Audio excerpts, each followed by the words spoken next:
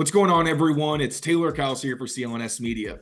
Washington quarterback Michael Penix Jr. held his pro day today, and surprise, surprise, he was very impressive, as we've seen from multiple of the top quarterbacks in this year's draft class. Now, while I will state again, as I have in previous videos, that pro days don't do a ton in terms of helping a quarterback stock, Michael Penix Jr. may have been one of the rare exceptions, as he ran somewhere within the high four fours and mid four fives when he ran his 40 yard dash, which he didn't do at the combine. Now, Michael Penix Jr. is someone who's known for being a pocket passer, which is absolutely true, especially considering he's had multiple season ending knee injuries. He's someone who doesn't tend to use his rushing ability very much, or at least not within the confines of Washington's offense last season.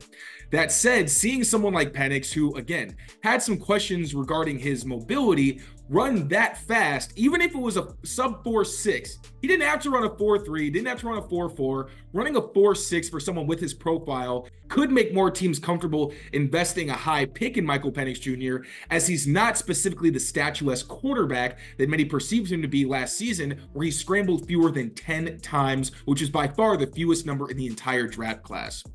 Now, Penix does come with other concerns. As I mentioned, he does have a lengthy injury history, which includes multiple injuries that actually ended his season. There's also the fact that he's got pretty wonky mechanics and will need a good offensive line that can provide him a solid pocket to operate from. That said, I think Michael Penix Jr.'s ability to make plays off schedule is a bit underrated, and he may have the best deep ball in this class as he's in competition with Jayden Daniels for that top spot if the Patriots do end up trading out of the number three slot and get 11 and 23 from the Vikings, I would look at Michael Penix Jr. as possibly their best case scenario if they decide to take a quarterback at number 23. It also helps that the Patriots had some people present at the Pro Day, including Director of College Scouting Cameron Williams. The Patriots also have another connection to Penix Jr. with Tyler Hughes, their wide receivers coach, who was an offensive quality control coach at Washington last season.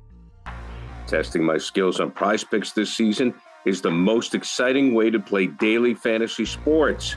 If you have the skills, you can turn $10 into $1,000 with just a few taps. Use the code CLNS for the first deposit match up to $100. Pick more, pick less. It's that easy.